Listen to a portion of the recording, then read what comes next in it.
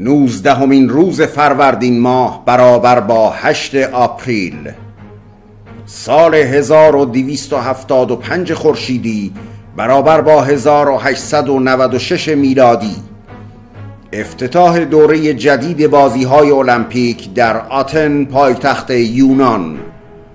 بازی های المپیک که نخست تنها جشنی مذهبی برای ادای احترام به زئوس پادشاه خدایان یونان بود هر چهار سال یک بار و در صحن مربوط به این خدایان موسوم به میدان زئوس در المپی یونان برگزار می‌شد و در آن دوران تنها مردان یونانی که خود و پدرانشان آزاد متولد شده بودند اجازه داشتند تا در این مسابقات شرکت کنند.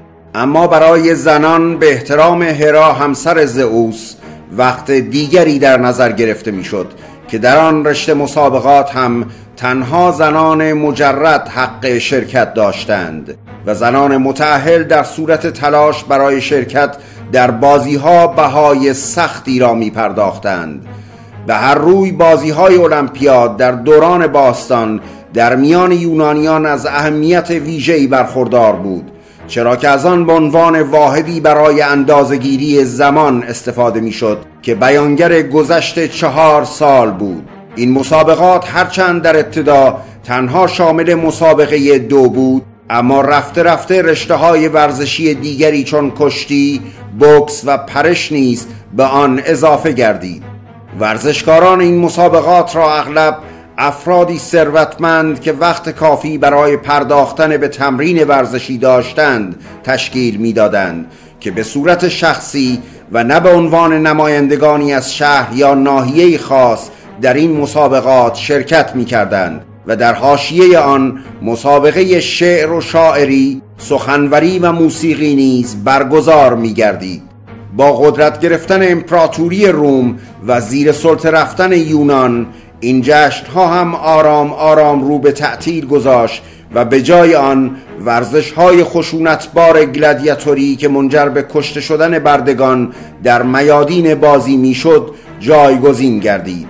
اما سالها بعد دانشمندی به نام پیر بارون دو کوبرتن فرانسوی توانست در پاریس همایشی تشکیل داده و اساس بازی های جدید المپیک را پی بگذارد. سال 1392 خورشیدی برابر با 2013 میلادی. در گذشت مارگارت هیلدا تاچر نخست وزیر سابق بریتانیا.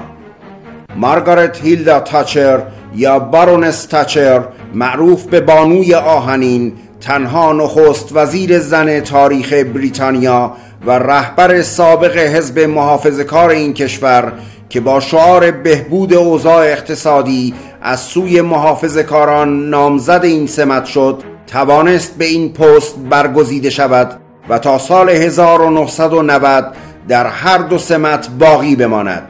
بسیاری او را از نظر شخصیت و جسارت در سیاست همتراز وینستون چرچیل نخست وزیر مشهور و با نفوذ دهه های چهل و پنجاه بریتانیا می‌دانند. حمایت او از بازار آزاد کاهش خدمات دولتی و واگذاری های دولتی به بخش خصوصی برخی از سیاست های مشهور او بود که به تاچریسم معروف گردید. پافشاری او بر سیاست های اقتدار گرایانه و محافظ کارانه که منتقدان بسیاری هم داشت و مقابلش با قدرت گرفتن اتحادیه های کارگری در بریتانیا او را به بانوی آهنین مشهور کرد.